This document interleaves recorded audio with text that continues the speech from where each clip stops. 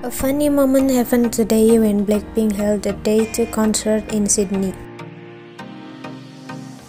Lisa, Jennie, and Jisoo protect Rose's body who wore a short top compared to the other members who wore a hoodie. Rose has a confused face and it makes fans happy to see her baby-like cuteness.